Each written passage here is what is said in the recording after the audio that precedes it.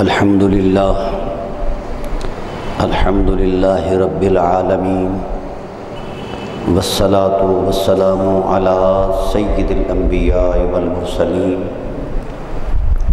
वस्सलातु वस्सलामु अला आबाए सय्यिदिल अंबिया वल मुरसलीन वस्सलातु वस्सलामु अला उम्महात सय्यिदिल अंबिया वल मुरसलीन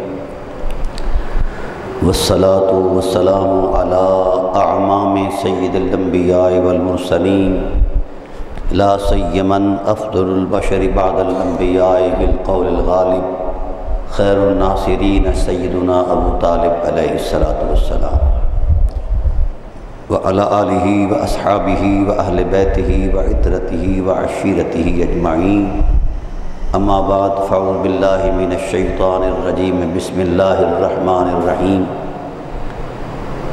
व यौम नबासफ़ी कुल्ल उम्मतिन शहीदन अलैहिम मिन अनफुसिहिम। वजिना बिक अला शहीदा। वनज़लना अलैकल किताब व रहमतन व बुशरा लिल मुस्लिमीन। सदक़ल्लाहु मौलाना अज़ीम। वबल्लगना रसूलनबीज़ीम इन मलाइकतहु युसल्लून अलन नबी या अय्युहल्लज़ीना आमनू सल्लु अलैहि वसल्लिमु तस्लीमा अल्लाहुम्मा सल्लि अला सय्यिदिना मौलाना मुहम्मदिन व अला आलि सय्यिदिना मौलाना मुहम्मदिन कमा सल्लैत अला इब्राहीम व अला आलि इब्राहीम इन्नका हमीदुम मजीद अस्सलातु वस्सलामु अलैका या सय्यदी या रसूल अल्लाह व अला आलिका व अस्हाबिका या सय्यदी या हबीब अल्लाह हमदो सलात के बाद इंतहाई वाजिबुल क़द्र हाज़रीन नाज़रीन बिहम्दिल्लाह ताला हमारी सिलसिलेवार गुफ्तगू कुरान और हुसैन अलैहिस्सलाम बक़ाए दीन का रास हैं आज उसी उन्वान को आगे बढ़ाएँगे। दीन के अंदर बुनियादी तौर पर दावत दीन में चार अनासर हैं। जिस तरह इंसान की खिलकत के चार अनासर हैं, आग, पानी, हवा और मट्टी पूरी कायनात के। इसी तरह दीन के अंदर भी चार अनासर हैं। पहला उनसर इल्म दूसरा उनसर अमल, तीसरा उनसर खलूस, अखलास, चौथा उनसर तकवा। ये चार अनासर मिलते हैं। जिस तरह इंसान के चार अनासर मिले तो पांचवी हिकमत जो चारों अनासर को मोबलाइज रखती है, वो फितरत के अतबार से रूह है। और यहाँ इस्लाम को जो ज़िंदा रखती है, वो पांचवी हकीकत अल्लाह की खशियत है। तो जिस पैकर खाकी में ये चारों अनासर हैं, इल्म, अमल खलूस और तकवा, खशियत इलाही तो जब तक उम्मत के एहसासों में ये चारों अनासर मौजूद हैं, उम्मत ताबिंदा भी है और अज़मत माब भी है, ज़िंदा भी है। और जब ये चारों अनासर में से कोई उनसर हमसे छूट जाए, जिससे हम दूर हो जाए तो फिर ज़िंदगी, हकीकत ज़िंदगी से आशना नहीं, चलती तो रहेगी। एक साहिब फ़िक्र ने इसका एक तजिया किया। अन्ना शुकुल्लुम मौता इल्लुलमा पूरी इंसानियत एक मुर्दा जिस्म की तरह है। उनमें से ज़िंदा वही हैं जिनके पैकर खाकी के अंदर इल्म का नूर है। वल कुल्लुहुम नयामन आमिलीन। तमाम उलमा की मिसाल इस तरह है कि जिस तरह एक सोया हुआ जिस्म है। बेदार कौन है? जिसका इल्म पर अमल भी है। वल आमिलीना फ़ी खुसरान इल्लमुत्तकीन इल्म अमल इल्लमुखलसीन इल्म अमल, इल्म भी हो, अमल भी हो, फिर भी इंसान खिसारे में है। खिसा, खिसारे से बाहर कब है? इल्लमुखलसीन जब इल्म भी पढ़ा तो उसमें इखलास हो, अल्लाह की रज़ा हो, अमल किया तो भी रयाकारी से पाक हो, उसमें अल्लाह की रजा हो। तो इल्म भी है, अमल भी है, फिर भी इंसान सोए हुए जिसम की इस तरह है, बेदार वही हैं जिनके पास इल्म भी है, अमल भी है। और खलूस भी है। क्योंकि कुरान पाक के अंदर आता है कि शैतान ने जिस वक्त कहा ना लबियन अजमाइन ए अल्लाह, तूने मुझे निकाल तो दिया है मेरी गुस्ताखी पर तो मैं गुमराह करूँगा, अगवा करूँगा तेरे बंदों को। तो अल्लाह ने चैलेंज कबूल करके फरमाया, बेशक कर लेना, तुझे ताकत भी है, सलाहियत भी है, इल्म भी बे इंतहा है, लेकिन ज़रा ये पर्दा हटा के देख कि जिस वक़्त उस पर्दे के पीछे देखा इबलीस ने तो कहा मुखलसिन अल्लाह, जिनके मन में खुलूस है, तेरी रजा है, उस पर मेरा काबू नहीं चलेगा। मैं इल्म पढ़ने वालों को भी गिरा दूँगा। इल्म पढ़ने वालों को भी गिरा दूँगा, अमल करने वालों से भी अमल छीन लूँगा। मगर जो मुखलिस हैं अल्लाह, मुखलिसों पर मेरी ताकत नहीं कारगर साबित हो सकती। फिर फरमाया, वल मुखलिसीन अला ख़तर इल्म भी हो, अमल भी हो, खलूस भी हो, फिर भी इंसान ख़तरे में है, किसी वक़्त भी डकेटी हो सकती है। खायफीन वो लोग जिनके मन में अल्लाह की खशियत और खौफ है, अल्लाह से मोहब्बत इस कदर गालिब है कि इंसान के ज़ाती एहसास ख़त्म हो जाते हैं। अल्लाह की मोहब्बत का नूर गालिब रहता है। अल्लाह की मोहब्बत का नूर गालिब रहता है। तो इस तस्वुर में फ़रमाया, अब ये अनासर अरबा में जो आखिरी अनसर है जब तक उन अनासर के साथ इसका ताल्लुक़ कायम रहेगा तो इस शैतान की ताकत तो क्या कायनात की कोई ताकत उसे हक से नहीं जुदा कर सकती? अब ये एक फ़लसफ़ा तय कर दिया गया, ज़िंदगी की अजमत के लिए, इलम भी हो, अमल भी हो, खलूस भी हो, तकवा भी हो। हाँ और कुरान करीम ने भी अपने उसलूब रिवायत की अजमत में यही बयान फरमाया कि इल्म तबियान कुल्ल शय। हमने कुरान वो नादल फरमाया है मेरे हबीब, जिसमें सारी कायनात की सारी हमतें समेट कर रख दी हैं। कोई ऐसी हमत और दानाई और शौर नहीं जो कुरान से बाहर हो। माफ़रतना फ़ी किताब मुबीन, हमने उस हकीकत को वजूद ही नहीं दिया जो कुरान में नहीं है। ये बात बड़ी काबिल गौर है। हमने उस हमत को वजूद ही नहीं दिया। वला सरा मंजार का वला अकबर फ़ी किताब मुबीन। हर छोटी से छोटी हकीकत, हर बड़ी से बड़ी अजमत हकीकत उसको समेट कर कुरान में रखा। वमामिन गायबतफ़िसमावल अर्द फ़ी किताब मुबीन। और जो गैब की हमतें हैं, वो भी सिमट कर सारी कुरान में आ गई। अब इल्म जो गैब से ताल्लक़ रखता है, वो भी कुरान में है। जो आलम शहादत से ताल्लक़ रखता है, वो भी कुरान में है। और ताज्जुब तो इस बात पर है कि अल्लाह ने वो सारे ख़जाने जो उसकी कुदरत के दायरा कार में हैं, क्योंकि उसकी कुदरत के दायरा कार के अलावा तो कायनात की किसी हकीकत का कोई वजूद ही नहीं है तो वो सब कुछ समेट कर कुरान में रखा और कुरान को समेट कर फरमाया नजल वाला कलबिक, आपके सीने पर रखा। दिल पर नादल फरमाया। ये बात इसलिए मैंने बयान की है मैं इसका पस मंजर अर्ज़ कर चुका हूँ पूरी तफसील के साथ।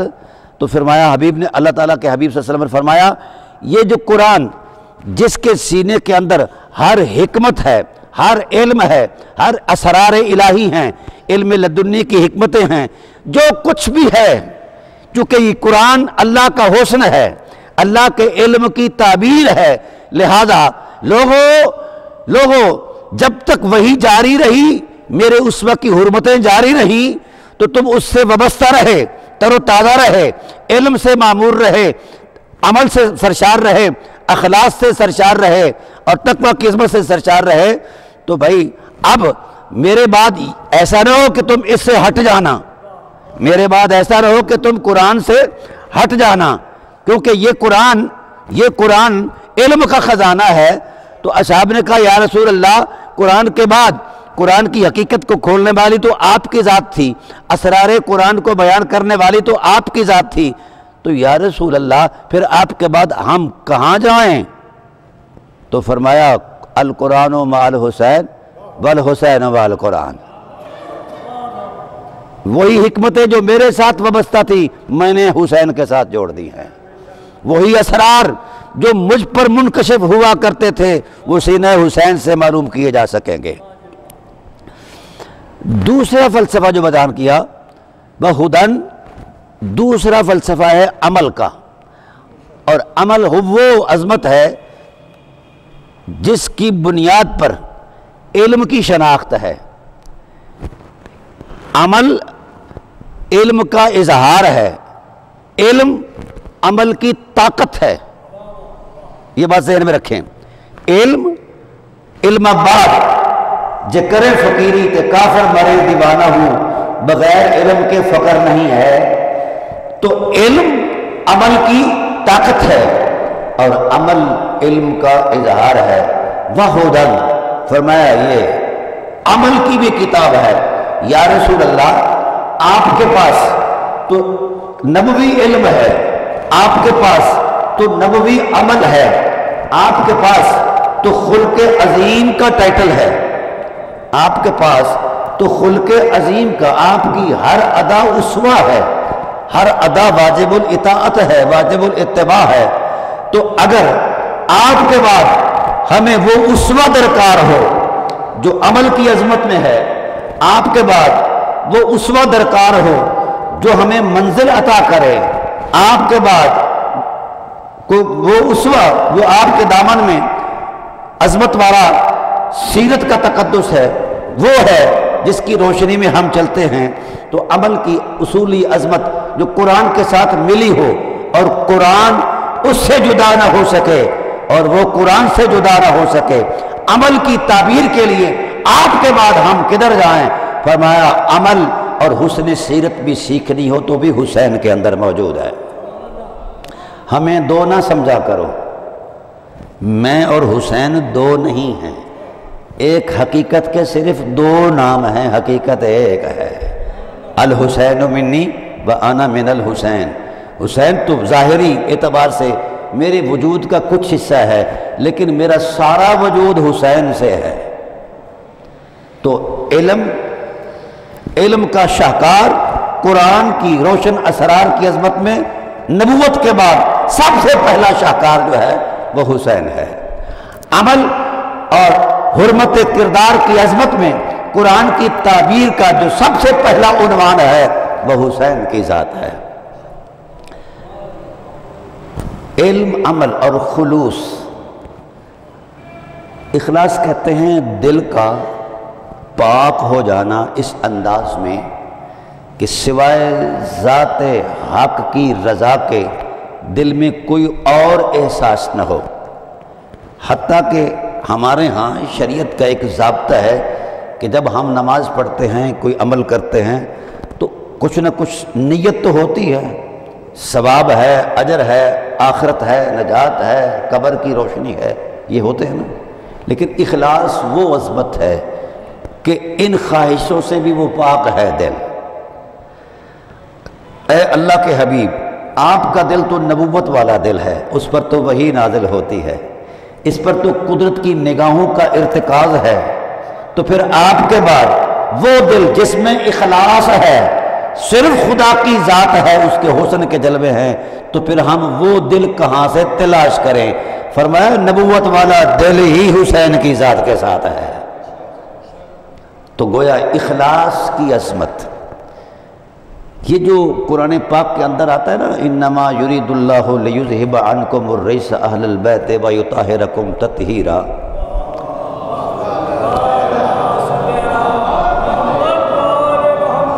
हमने इसको सिर्फ़ मज़हब के तस्वुर में देखा है।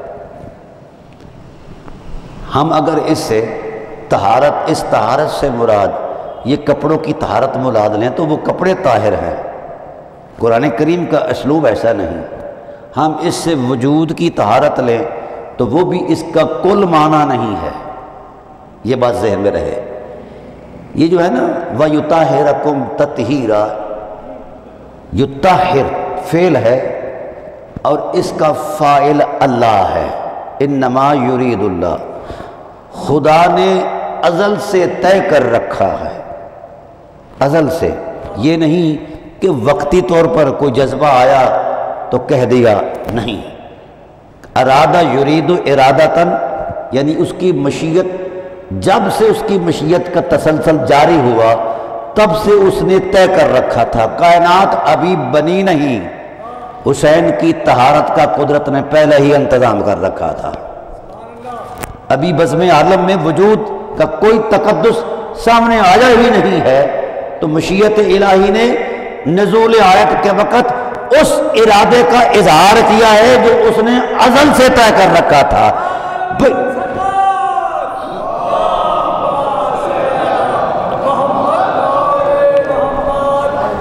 ये नजूल आयत के वक़्त तो तहारत का ऐलान हुआ है, क्योंकि उसलूब कलाम इलाही इन नमा युरीदुल्ला सिवाय इसके नहीं, हमने और कुछ तय नहीं किया।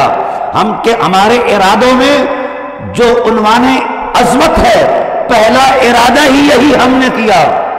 अभी कायनात वजूद में नहीं आई। हुसैन की तहारत का इरादा सबसे पहले कुदरत ने कर दिया है। तो जिसके, जिसकी तहारत का इरादा अजली हो, अबदी हो तो उसका, उसके वजूद का कौन सा हिस्सा है जिसको तहारत की ज़रूरत पड़ जाए? इन नमाजुरीदुल्लाबान कमरज बैत। वयुताहरकुम ततहीरा। यहाँ बड़ा खूबसूरत उनवान है। वयुताहरकुम। अल्लाह ने तुम्हें पाक कर दिया है। बस बात इतनी थी। ए अल्लाह, तूने पाक कर दिया, बस छुट्टी। फरमा वयुताहिरा कौम ततहीरा। जिस फेल का मसदर जिस फेल का, अरबी में फेल, जिस फेल का मसदर, उसका मफूल बन जाए। एक होता है फेल, काम। एक होता है फ़ाइल, काम करने वाला। एक होता है मफूल जिस पर किसी काम करने वाले के काम का असर हो। मसलन, खिताब करना फ़ेल है, और मैं खिताब कर रहा हूँ, और मेरे खिताब का असर आप पर है। तो खिताब करना फ़ेल करार पाया और मैं उसका फ़ाइल करार पाया। आप मेरे मुखातिब हैं। अब मुझमें और आप में कोई दूरी तो नहीं। न जिन्स के एतबार से, न ख्याल के तबार से, न दीन और मज़हब के तबार से कोई फासला तो नहीं ना जी। तो बस आइए, जो जो मफूल इस, उसको हमारी अरबी ज़बान में मफूल मुतलक कहते हैं, यानी इस पर कोई कंडीशन नहीं है। कि इसका तकदस जो है, इस हद तक है और इस हद तक नहीं। फरमा वयुताहरकुम ततहीरा। ये वयुताहरकुम फेल और कुम इसका मफूल भी और फ़ाइल अल्लाह है। अल्लाह ने ये अमल खसूसी मशीयत इलाही की अजमत में तय किया। फिर उस तय करने के बाद क्या किया? तुम्हारी तहारत शुरू कर दी। अहल बैत नबूबत तुम्हारी तहारत शुरू कर दी। मैं कब से तुम्हारी तहारत का एहतमाम कर रहा हूँ? जब से खुदा हूँ, तुम्हें ताहिर और मुताहिर कर रहा हूँ। जब तक खुदा हूँ, तब तक मेरी तहारत का अमल जारी और सारी रहेगा। अब आप कायनात के नज़म का अजल और अबद के तस्वुर में जायजा लेकर देख लें कि जिस अमल को खुदा एक उलूही तसलसल के साथ अजल से लेकर अब तक कर रहा है। तो क्या वो पाक पहले ना थे? वो जिसको खुदा एक मरतबा पाक कर दे तो वो पाक ही है ना? लेकिन इस तहारत में इतना कमाल है कि वो, एक मैं आपको जावी बताता हूँ, मसलन, कोई शख्स अल्लाह की बारगाह में हाजिर होता है, उसके पल्ले गुनाह भी हैं और नेकियाँ भी हैं। कुरान कहता है इन हसनात युजहबन सयात ये जो नेकियाँ हैं, बदियों को खा जाती हैं। ख़त्म हो गए, माफ़ हो गई अब उसके बाद फिर वो नेकी, जब वो पाप हो गया बंदा, फिर नेकी करता है, अब उसके दामन पर आलूदगी तो है नहीं, फिर ये नेकी किसको धोएगी? जब आलूदगी है ही नहीं तो अब इसी शरीयत ने फैसला किया कि अब सिर्फ़ उसके गुनाह की आलूदगी नहीं धोएगी। गुनाह तो धुल चुके अब उसकी उसकी अजमत के दर्जात को कुदरत बुलंद कर रहा है। जितनियाँ तय दर तय नेकियाँ करता जाएगा, दर्जे बुलंद होते जाएँगे। आलाइन के अंदर भी, उसके वजूद के भी, अखलाक के भी दर्जे बुलंद होते जाएँगे।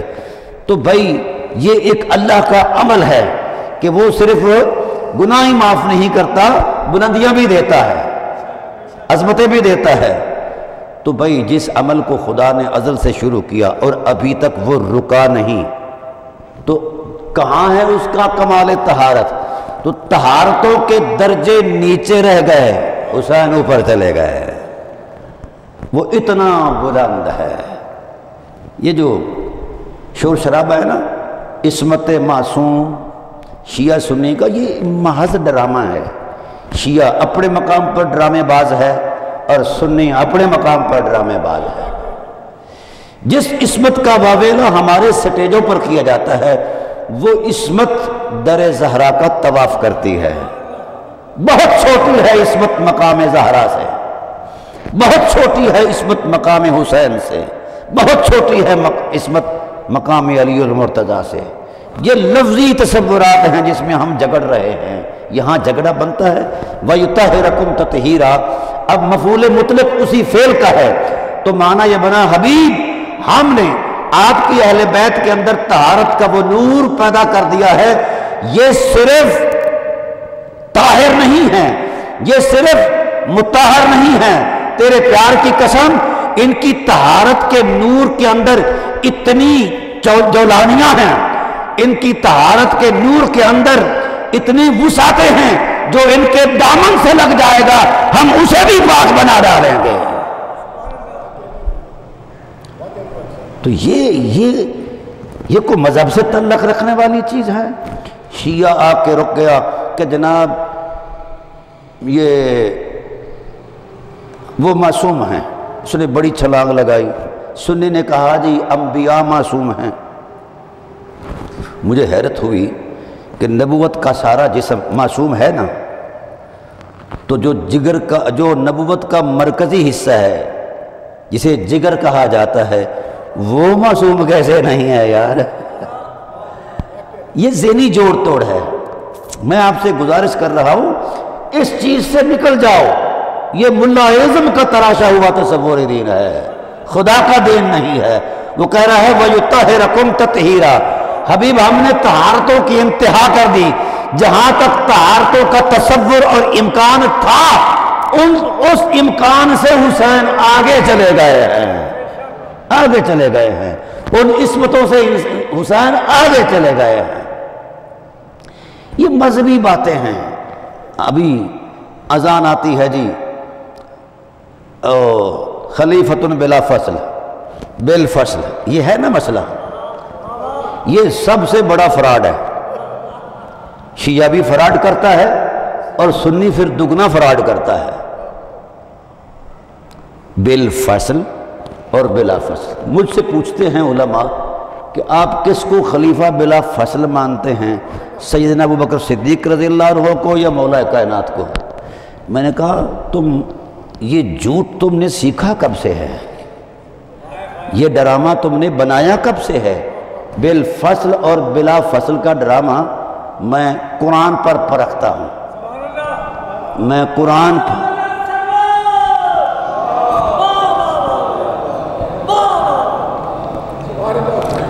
ये बिल फ़सल और बिला फ़सल का जो ड्रामा है, आज फ़कीर नंगा कर रहा है। बड़ी मौलवियों को तकलीफ़ होगी, लेकिन क्या करूँ? कुरान पाक हक है। मुलाबाद की पैदावार है, कुरान पहली हकीकत है। कुरान अल्लाह का होसन है। इस पर किसी राय की कोई सूरत हाल नहीं है। ये सुरह अहजाब, जिसके सीने में वयुता रकम ततहीरा, एक नूर चमक रहा है। ये उसी सूरत से। अल्लाह ताला इशात फरमाते हैं अन नबी अवला बिलमिन अमिन अनफुस हैं ये कुरान की नस है। शिया भी पढ़ता है, सुन्नी भी पढ़ता है। नबी की अजमत और वस्फ ये है, कमाल ये है, खसूसियत ये है, नबी का मकाम ये है कि ये मोमिन से इतना ज़्यादा करीब है, उतना मोमिन अपनी ज़ात के खुद करीब नहीं जितना मोहम्मद करीब है। और आला हज़रत रहमतुल्लाह ताला मौलाना अहमद खां बरेलवी वो फरमाते हैं अवला बमानी मालिक, नबी मोमिनों की जानों के मालिक हैं।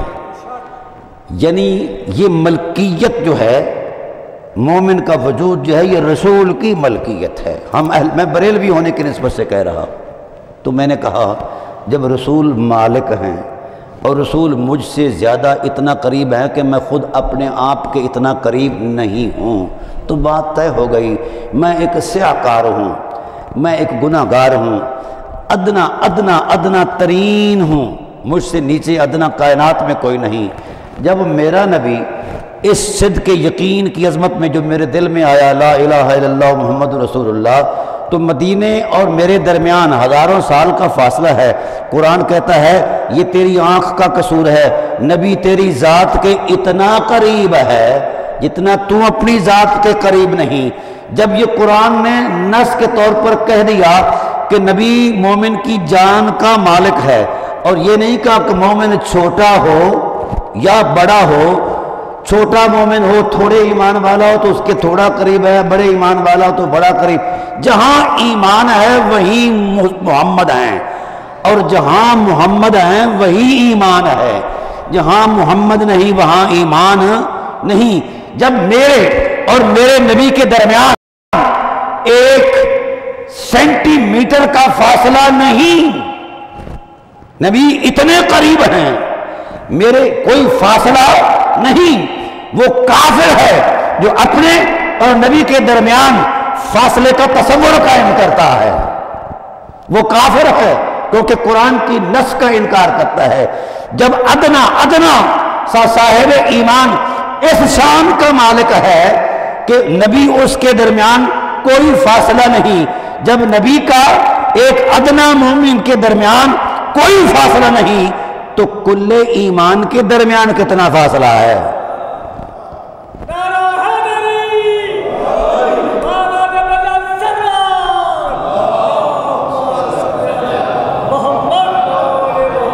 इसलिए फ़कीर मुल्ला की किसी ताबीर को नहीं मानता कुरान की आयत को मानता है।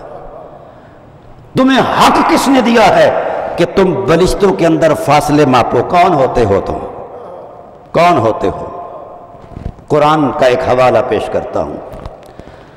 मक्का के अंदर सबसे पहले जिसने इस्लाम की वफा में जान का नजराना पेश किया है, वो हज़रत अम्मार के वालदेन हैं, अम्मार बिन यासर के। उनको पकड़ लिया गया, गिरफ़्तार कर दिए गए। तो उनको मारा गया, सताया गया और कहा कि दीन के ख़िलाफ़ बात करो, मोहम्मद के ख़िलाफ़ बात करो। तो आपने फरमाया, मेरी जान तो जा सकती है, लेकिन अहद वफा नहीं तोड़ सकता। मैंने कहा है, ला मोहम्मद रसूल अच्छा फिर अपनी ज़ात से, अपनी जान से ज़्यादा बंदे को माँ बाप से ज़्यादा प्यार होता है। काफिर बड़ा मक्कार था, वो आपके बाप को गिरफ़्तार करके लाया और उसको टोटे टोटे कर दिया। ये है ये है वफा। कहा अमार तेरा बाप टोटे टोटे हो गया। छोड़ दे मोहम्मद को। कहा, मोहम्मद का दामन ही ऐसा है, नहीं छूट सकता। माँ को लाया गया। उनके वजूदों को भी इस अंदाज में, हतक अंदाज, हतक अमेज अंदाज में ज़ख्मी किया गया, मारा गया, कत्ल कर दिया गया। तो इंसानी फितरत है, हवास गालिब आ जाते हैं। हवास पर वो दुख, हवास पर दुख दर्द गालिब आ गया कि ये क्या हो गया है? इनके भी बाजू टूटे हुए हैं। अब जब हवास कायम न रहे तो जबान पर कोई दूसरा कलमा जारी हो गया तो करीब से एक सिहाबी गुजरे। उन्होंने कहा कि अमार तो गलत कह रहे हैं, जाकर दरबार रिसालत में शिकायत लगा दी कि या रसूल अल्लाह आपका जो ग़ुलाम अम्मार है उसकी ज़ुबान से ऐसे ऐसे नागुफ्तब कलमात का इजरा हो गया है, वो जारी कर रहा है। कि मैंने मोहम्मद को छोड़ दिया है या कोई ऐसा लफ्ज़ जो मिजाज नबूत के ख़िलाफ़ था। तो नबी करीम वसल्लम जलाल में आए फरमाया हावी तू गलत कहता है। मैं नबवी यकीन से कह रहा हूँ, अम्मार के दिल में मोहम्मद की तस्वीर है और कुछ नहीं है। मोहम्मद की ज़ात है।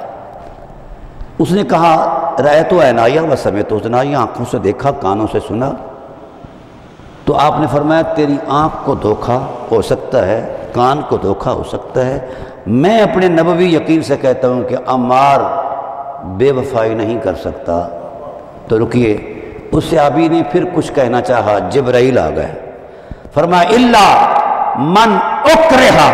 हबीब, जानते हो कि उसके ऊपर जो हालत इकराह में हुई, जो उसके ऊपर हालात वारिद हुए, जहाँ अकल शूर सोच हवास कायम ही नहीं रहते तो इतनी अजियत और तकलीफ़ के बावजूद अगर वो हवास खो बैठा है तो मैं खुदा होकर गवाही देता हूँ।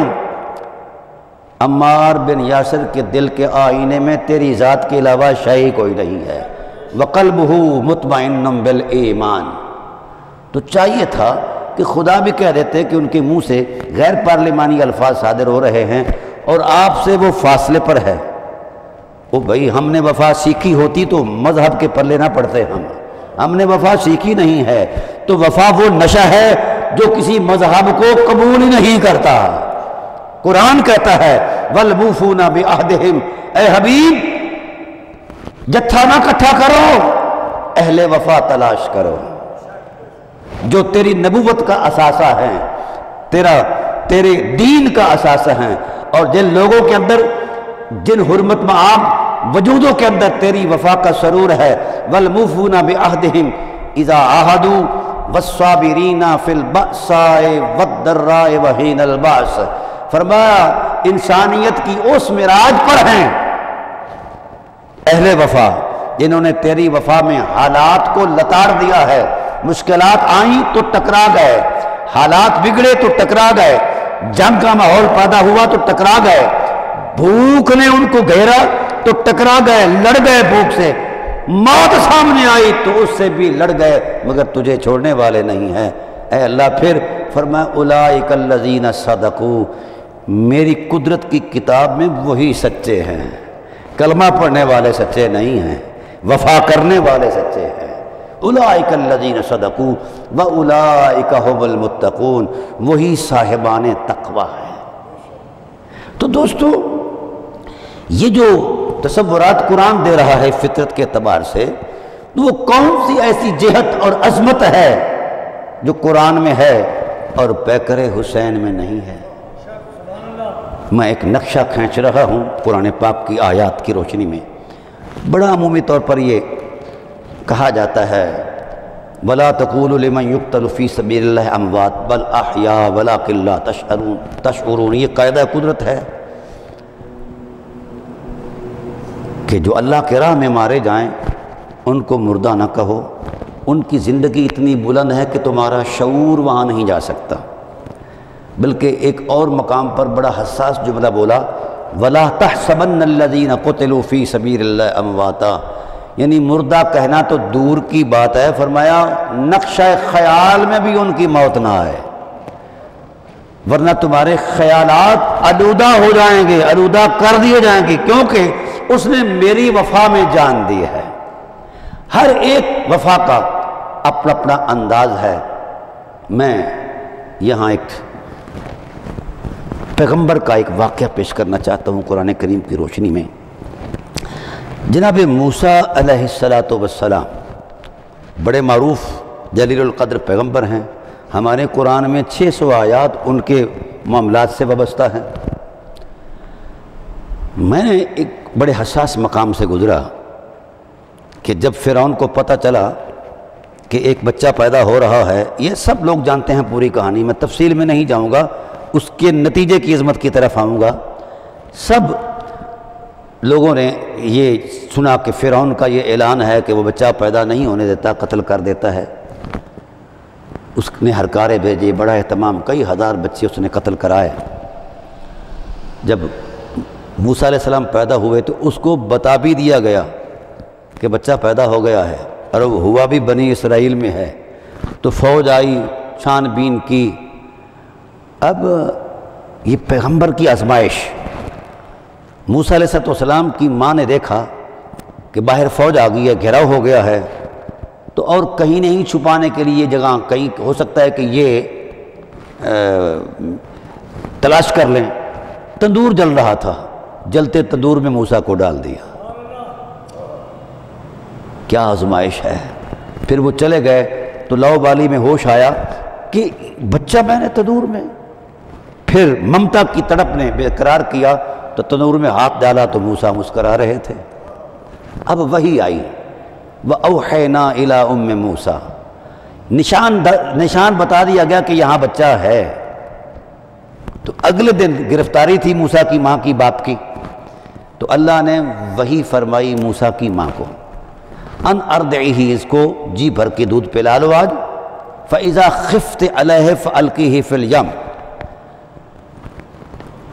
फिरौनी फ़ौज का ख़तरा जब सामने आए तो फिर मूसा को संदूक में डालो और बहते दरिया में फेंक दो।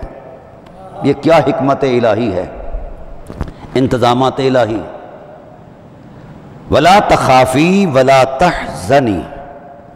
ना डरना है, ना गम ज़दा होना है। इन्ना रादू इले के हम मूसा सही सालम लौटा देंगे। सिर्फ़ मूसा नहीं लौटाएँगे। वजालूह मिनल मुरसलीन, हम उसको रसूल बनाकर लौटाएँगे। ये कुदरत ने अपना एक निज़ाम बयान किया है। किस्सा नहीं है। दास्तान सराई कुरान की आदत नहीं, ना खुदा की आदत है। ये अहवाल बयान करे हैं कि आजमाइशें कैसे कैसे होती हैं और उन आजमाइशों का तसलसल नतीजा क्या होता है। ये चीज़ें।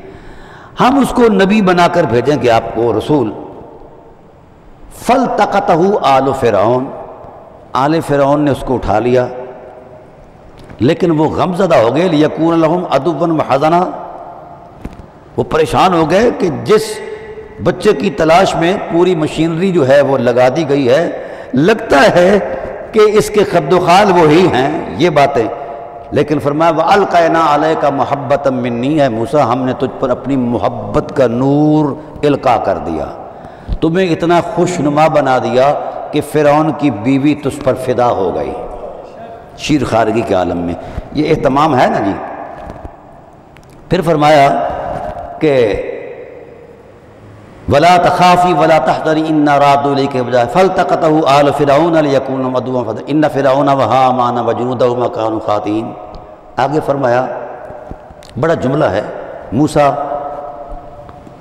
फेंक दिए गए दरिया में, भेज दिए गए, उनको उठा लिया गया, वो वाक़ क्योंकि वक्त के दामन में गुंजाइश नहीं कि मैं तफसीली जुजियात पर गुफ्तु करूँ, मैं एक नतीजा देना चाहता हूँ। फरमाया, वह असबहफ़ आद उम मूसा। अब शीर खार बच्चा है माँ उसे अपने हाथों से, लेकिन अल्लाह के वादे भी मौजूद, सहूलतें भी मौजूद, एहतमाम कुदरत भी मौजूद, नज़ायर कुदरत भी मौजूद तसलियाँ भी मौजूद। फरमाया वसबहफ़ आद उम मूसा तो ममता तड़प उठी तो दिल जो है, वो बेकाबू हो गया। हाय वाय पर करने लगी, लौला अर्रबतना अला कल्ब ही अल्लाह ने फरमाया कि हमने उसके दिल को अपनी कुदरत से मज़बूत किया। दिल भी मज़बूत हो गया, ये सहूलत भी मिल गई और वो बशारत भी मिल गई। लेकिन फिर भी उम मूसा की तसल्ली नहीं हुई, माँ थी ना, ममता थी, तड़प उठी। वकालत ली उख्ती ही कुस्सी ही मूसा की बहन से कहा कि बेटा जाओ, पता करो मूसा किधर गया है। वक़ारत कुसी फ़बासरत भी अंजुन भी महमद शुरून। फिर मूसा वहाँ गए दाइयाँ आ गईं। एक शोर बपा हुआ कि एक बच्चा आया है और वो मलका को पसंद आ गया है। दाइयाँ बुलाई जाए आ गईं। कुदरत की गैरत ने कहा, ये नबूवत का पैकर है। गैर पकीज़ा दूध भी मैं नहीं जाने दूँगा। ये अहतमाम कुदरत कुरान बता रहा है ना। तो जिसने बनी इसराइल को संभालना था उसके लिए ये है हर रबना अलहिल बना दिया बिन कबल, हमने गैर पाकिज़ा दूध भी इनके खमीर का हिस्सा नहीं बनाना। जो एक कौम को संभालने वाला है, उसके लिए ये अहतमाम है। और जिसने उम्मत मोहम्मद की इमामत करनी है, मुझे बता दीजिए, यहाँ अहतमाम क्या होगा? अच्छा फिर फरमाया वह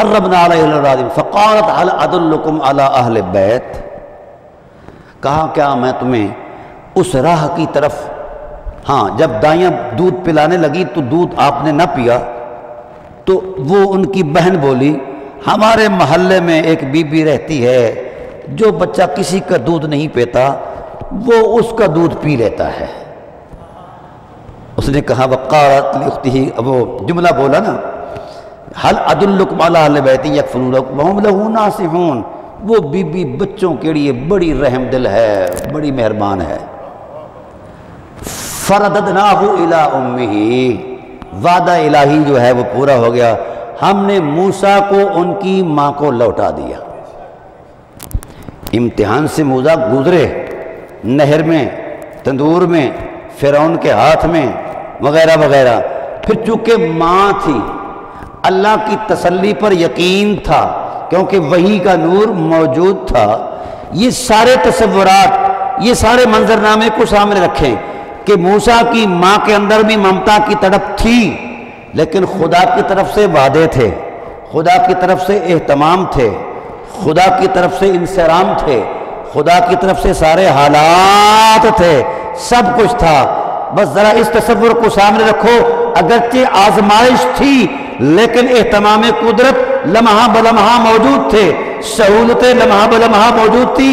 आइए मैं उन करबला की माओ को सलाम करता हूँ, जिनके सामने ना कोई वही आई, ना कोई फरिश्ता आया, ना तसल्ली देने के लिए कुदरत ने कोई ऐलान फरमाया। कुछ नहीं, माँ के सामने तड़पते लाशों का तसलसल मौजूद था, और माए तो दुआ करती हैं। ए जैनब, तेरे कदमों की हुरमत से लगने वाले खाक की ज़र्रों पर सारी उम्मत कुर्बान। तूने जब ओनो मोहम्मद को पेश किया होगा तो कैफियत क्या हुई होगी? चाहिए तो ये था कि एहतमाम कुदरत यहाँ भी होता। कोई ना कोई इंसराम हो जाता, कोई तसल्ली देने वाला ही आ जाता।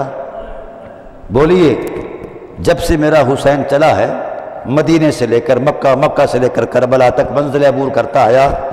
हर एक ने खौफ ज़दा किया है कि आप मौत की तरफ़ जा रहे हैं। तो फरमाया, मौतों से लड़ना हमारा खमीर है। मौतों से लड़ जाना हमारा खमीर है। मुझे बताया जाए, अकेला इमाम खड़ा है ना मैदान करबला में? आसपास लाशें हैं, टुकड़े हैं ओनो मोहम्मद की लाश के टुकड़े हैं, कासिम की लाश के टुकड़े हैं, लुटी हुई जमानियाँ हैं, अली अकबर का कद आवर लाशा है, जनाब गाजी अब्बास के कटे बाजू हैं तो मेरा हुसैन खैमों में उतरते हैं और अपनी मोहब्बत का इजहार करते हुए खुद जाने लगे तो एक मासूम सी आवाज़ आई, जिसके अंदर एक दर्द था। कहा, ये मासूम सी, छोटी सी, पतली सी आवाज़ किसकी है? तो हज़रत ज़ैनब बोली, ये हज़रत अली असगर की आवाज़ है। कहा, इस आवाज़ का रिदम क्या है? उन्होंने कहा, इसका रिदम ये है कि जिस तरह आप लोगों को अलविदा करते थे, जिस तरह आप लोगों को ओनो मोहम्मद को विदा किया, तसल्ली दी, अमामा दिया। अली अकबर पर आपने नबूवत का अमामा बांधा उन पर नबूवत का लिबास पहनाया। तो हरे आप अब अली असगर झूले से देख रहा है कि बाबा को विदा करने के लिए कोई हम नवा कोई नहीं है, कोई मोहब्बत नहीं है, कोई प्यार नहीं है और कोई ऐसा जज्बा नहीं है। तो उनका दिल, उनके जज्बों की अक्सी ये है कि वो चाहते हैं कि वो खुद आपको अलविदा करें तो रिवायात तो इस हवाले से, सुकम वाली, सेहत वाली मौजूद हैं, लेकिन जो दिल को भाती है बात, वो कहते हैं कि खुद ब खुद जिस वो कपड़े में थे, जिस फुंदके में थे, उसको उठाया चीरा और बाहर झोली से बाहर आए पंघूड़े से, उस आवाज़ में एक ख़ास रिदम था, लड़खड़ाहट थी। तो मेरे हुसैन उठे और आकर उनको हाथों पर उठाया तो प्यास से लब भी सूखे थे और गला भी खुश्क था। वो अपनी हमदर्दी का एहसास जितलाना चाहता था, मगर वजूद में शक्कत नहीं थी कितने दिनों से पानी की प्यास। तो ऐसे हालात में इमाम अली मकाम ने उसे उठाया। अब ये जो सामने फ़ौज आदा थी, शर्मनाक रवैया है अहले इल्म का। कि ये वही उम्मत है जिनको हुक्म देता है कुरान कि मोहम्मद और आले मोहम्मद पर दरूदों की बारिश करो और वही उम्मत दरूदों की बारिश की बजाय तीरों की बारिश करती है। अब जब हुसैन मैदान में लेकर जनाबी अली असगर सलाम को आए तो आसमान भी लर्ज रहा था, ज़मीन काँप रही थी कि ये क्या हो रहा है? एक मासूम की प्यास बुझाने के लिए आज उसका बाप अपनी शफकतों का सारा असासा लेकर आया है और मैदान में आया है और इस हालात में आया है तो जब आदा की फौज को देखा कि पानी की बजाय उनके हाथों में, हुरबला के हाथों में तीर है, जिसने निशाना लगाया हुआ है, बांधा हुआ है निशाना अली असगर के नाजरीन गले की तरफ़ तो उस वक़्त उन्होंने आसपास मुड़ के देखा कि कोई हम नवा आवाज़ आए। जो मेरी तसल्ली का बायस बने, दाएँ देखा तो अली अकबर की कटे लाशा पड़ा था। इधर देखा ओनो मोहम्मद के लाशे थे। तो लाशों के ढेर में खड़ा है इमाम। वहाँ ना कोई जबरील आया है, ना मेकाइल आया है, ना फरिश्ता आया है। अगर से उम्मे मूसा और ज़ाते मूसा का आजमाइश का तस्वुर जो कुरान देता है, इसकी अपनी शान है, लेकिन यहाँ तसल्ली मौजूद है। एहतमाम मौजूद है और वहाँ तकदीर के अलावा कुछ मौजूद नहीं है। मुझे समझाया जाए इस बात पर। मुझे ये बात ज़रा यकीन दहानी कराई जाए कि मैं इसको इम्तिहान कहूँ या करबला के माही के मामले को इम्तिहान कहूँ। किस इम्तिहान को बड़ा कहूँ, किसको क्या कहूँ, कहाँ तराजू करूँ, किस तस्वर में उतर कर ये बातें करूँ तो कुरान ने कहा, इसलिए कहा वलना बलो वन्ना कुम हो लोगो हम आजमाते हैं। रसूल खुदा ने भी फरमाया कि लोगों, हर नबी को हक के रास्ते में आजमाया गया है, पर जितना मोहम्मद को आजमाया गया है, इतना किसी को नहीं आजमाया गया। हर नबी की आजमाइश उसके वजूद तक रही। मेरी आजमाइश क़्यामत तक मौजूद है। ये क्या आजमाइश है? क्या आजमाइश? बल नबलवनकुम बिशय मिनल खौफ। आयत के असलूब के अंदर बहुत बड़ा एक पैगाम है। अब चार चीज़ों का हुक्म दिया। लनबलवनकुम मिनल जो एवल खौफ। खौफ और भूख। मुझे बताइए कि करबला में क्या कुछ नहीं था? खौफ व हरास के अलावा कुछ था? वल नबलवनकुम मैंने तारीख़ का जायज़ा जब पढ़ा, आजमाइशें इंसानों पर आती हैं, पर कोई एक आजमाइश से गुज़रा है, कोई दो आजमाइश से गुज़रा है। किसी ने हद कर दी तो तीन आजमाइशों तक आगे नहीं गया। यहाँ पाँच आजमाइशों का तस्वुर है। पाँच, मिनल खौफ वलजू व नक्स मिनल अमवाल वल आनफो से वसमरा ये पाँच आजमाइशों से सामना कर रहा है हुसैन, अकेला। और ऐसे हालात में कि आसपास ना कोई गम गुसार है, ना कोई दिलदार है, न तसल्ली देने वाला है और ना ही कोई मदद करने वाला है और टूटा हुआ दिल है, सामने आँखों के लाशें हैं, अली अकबर के कटा हुआ लाशा है और जनाब अब्बास के कटे बाजू हैं और ये सब चीज़ें, ये असासा हैं मेरे हुसैन का। वाह हुसैन, तेरी इस्तकामत को सलाम। तूने ऐसे मुजमहल तरीन हालात को भी सामने नहीं रखा। मात देते हुए जनाब अली असगर सलाम के गुलवे नाजनीन पर जिस वक़्त तीर आर पार होता है तो मासूम गर्दन लटक जाती है। तो दिल टूट जाना चाहिए था, तबीयत बिखर जानी चाहिए थी। हुसैन वावेला करते, आहो बका करते तो अली असगर अलैहिस्सलाम के खून का जो फवारा मासूम खून उसको हाथ में लहरा कर ऊपर उछाला या कुछ रिवायात के मुताबिक चेहरे पर मला या कुछ रिवायात के मुताबिक वो कपड़ों से नीचे नहीं आने दिया। रिवायात का जो भी एक तकदस अपने मकाम पर, लेकिन शहादत से किसी को इनकार नहीं है। तो दोस्तान मोहतरम, मुझे ये समझाया जाए आज, ऐसे हालात में एक महकते हुए मासूम छोटे से फूल जिसका कसूरी कोई नहीं है। फौज आदा से आपने कहा कि मेरे साथ तुम्हारा मामला हो सकता है। इस मासूम का तो कोई कसूर नहीं है। इसका गला खुश्क है तो हुरमले को हुक्म देता है, वो जालिम, वो लईन, मुझे यहाँ एक बात ज़रूर करनी है। ये बात काबिल गौर है। और मैं पूरी दुनिया में ये बात कह रहा हूँ। सच टीवी के ज़रिए से भी अलावा अजी भी। मुझे ये बताया जाए कि बदर में मारका हुआ, हुनैन में हुए, तबूक में यरमूक में गजबात हुए शादतें भी हुई। इसमें कोई शक नहीं उनका एक अपना मकाम है। मुझे सिर्फ़ इस बात की जो है ना, समझ नहीं आई आज तक कि उन मारकों की हरमत पर कुरान करीम की आयात मौजूद है, उसका कोई इनकार नहीं है। लेकिन ये बताया जाए ज़रा कि अल्लाह अकबर अल्लाह अकबर, दिल फट रहा है, यकीन कीजिए। उन मारों की मारकों की उर्मत को सलाम पर करबला का जो मार्का है, इसका मवाजना कहीं किया जा सकता है, किसी भी एतबार से? लेकिन जो चीज़ मेरे तजर्बे मुशाहे और इलम के अंदर आई, बदर में अबू जाहल, अबू उतबा, शहबा इस तरह के कुफार थे।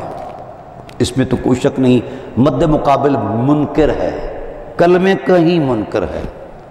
कलमे का ही मुनकर है। बंदे लड़ पड़ते हैं। जहन अगर मुख्तलफ है या कोई इख्तलाफ की सूरत है, लड़ाइयाँ होती रहती हैं मद्द मुकाबल काफिर है। लेकिन यहाँ सारे मौलवी हैं कारी हैं, हाजी हैं, नमाजी हैं और कलमा पढ़ने वाले हैं। पूरी तारीख पढ़ के देखो। कुफार मक्का ने रसूलुल्लाह को सताया ज़रूर है। कत्ल के मंसूबे ज़रूर बने हैं। किसी काफिर ने काफिर होकर हर में नबूवत पर हमला नहीं किया। हती कि शहजादी कायनात इसमतों की इंतहा। हज़रत जहरा पाक ने जिस वक़्त अपने बाबा के वजूद से वो ओझड़ी उठाई तो कुफार मक्का को बुरा भला कहा। कहा, तुम फला हो, तुम फला हो, जिस तरह की बेटी अपने बाप के बारे में गैरत खाती है।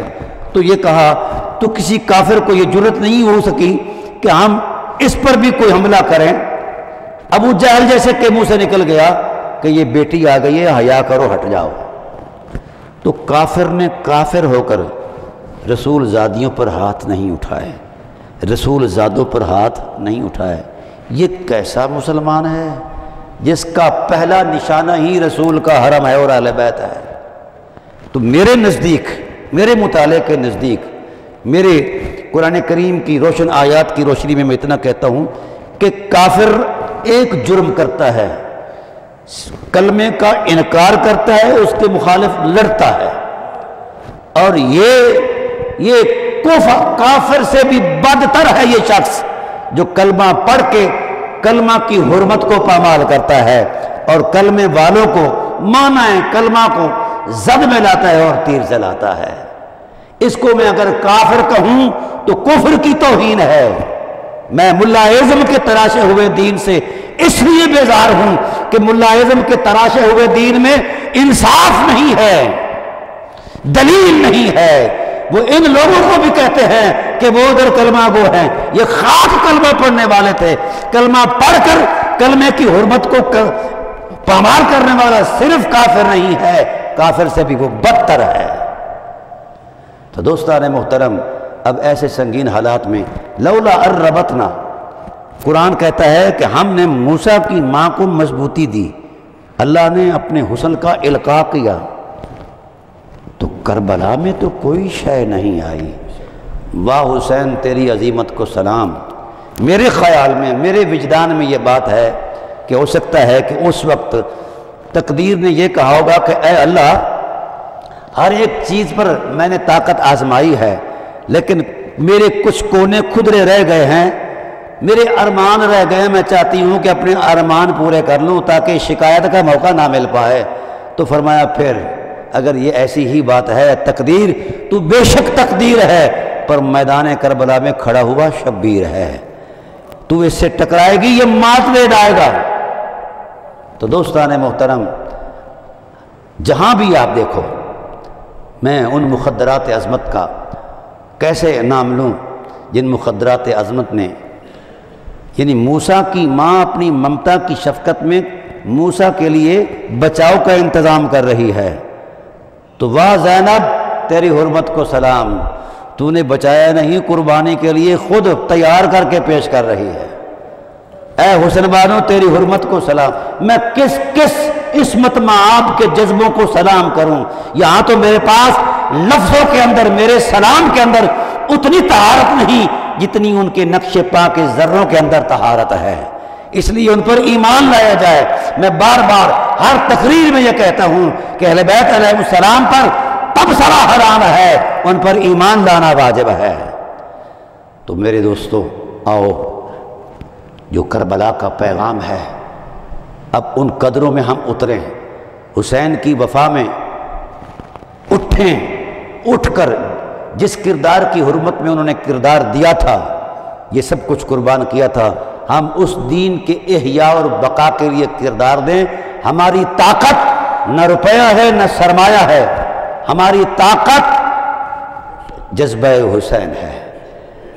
जब हुसैन की वफा पर उम्मत मुतहद हो जाएगी तो मैं पूरे यकीन से कहता हूँ, रुए ज़मीन पर कुफर का निशान तक नहीं रहेगा। अल्लाह ताला मेरी और आपकी हाज़िरी को शरफ़ कबूली से सरफराज फरमाए और हमें वफ़ा और हया के दोनों नूर अता फ़रमाए। अहल बैत अलैहिस्सलाम की से कुदसिया के साथ उनके उसवा पर चलने की तोफ़ी रफ़ीक नसीब फरमाए।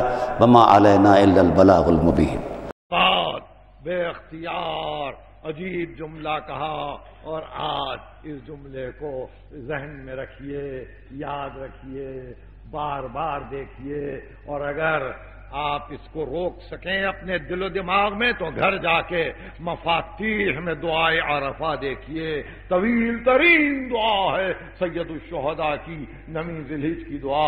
इशाद फरमाते इलाही मल्लजी फ़कदमन वजदक। परवरदिगार, उसने क्या खोया जिसने तुझको पाया? इलाही मल्लदी फ़कदमन वजदक। वो इलाही माजा वजदा मन फकदक और परवरदिगार, उसने क्या पा लिया जिसने तुझको खो दिया? उसने क्या पाया जिसने तुझको खो दिया? अब उसकी तलाश में चले। उसकी तलाश में चले इखला से कमाल लिए हुए चले। घर को छोड़ा और चले। नाना की कब्र छोड़ी और चले। वतन छूटा और चले। भाई की लहर, माँ का मजार, मदीने की ज़िंदगी, बीमार बेटी, सबको छोड़ा और चले। अब उसी की तलाश में चले, खाने हक में पहुँचे, इब्ने अब्बास ने रोकना चाहा तो कहा, नहीं, अल्लाह ने यह चाहा है कि मैं उसकी राह में जिबा हो जाऊँ. और चले मंजिल सूख पर, भाई की शहादत की खबर मिली, रोए और चले। यह हुसैन का दिल है। और फिर उस मंजिल पर कुर्बानियाँ देने के लिए चले और देते चले। सुबह से जोहर तक भरा घर खत्म हुआ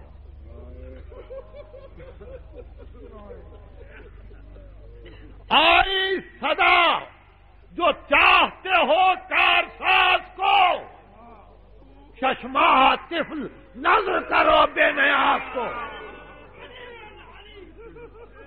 आई सदा, जो चाहते हो कार कारसाज को। चश्मा, तिफल, नज़र करो बेनियास को। कि अर्ज़ शहने, बारे इलाहा, अभी अभी। घर में गया हुसैन और आया अभी अभी। उनको भी कत्लगाह में लिटाया। अभी अभी।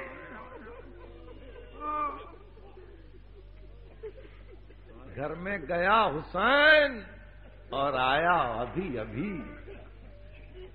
उनको भी कत्लगाह में लिटाया अभी अभी।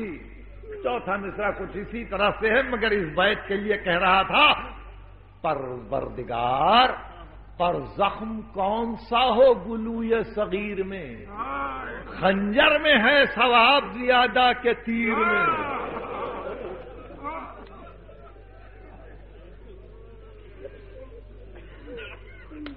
पर जख्म कौन सा हो गुलूए सगीर में? खंजर में है सवाब, ज़्यादा तीर में।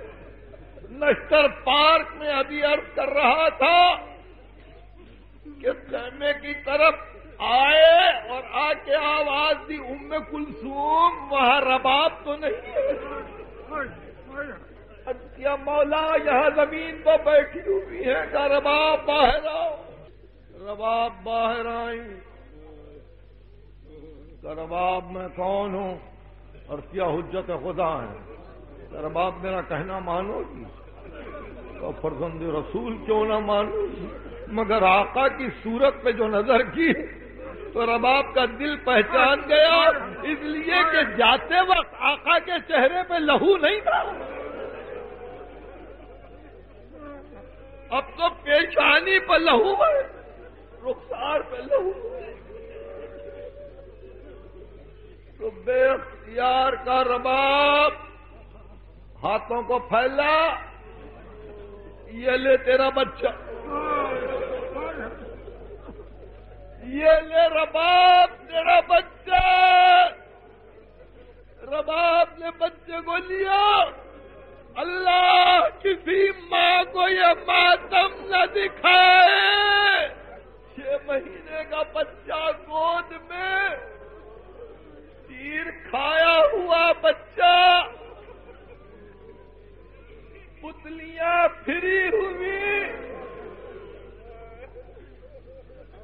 और एक मरतबा इमाम ने कहा, रबाब बस दिल चाहता है कि फातिमा जहरा के बाग की ये कली इस जलती धूप में न रहे।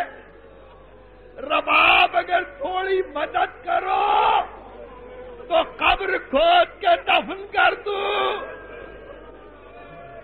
रबाब ने मदद की, बच्चे को दफन किया। ग्यारह मुहर्रम को जब काफिला चला तो रबाब मुतमईन थी कि मेरा बच्चा तो दफन हो गया।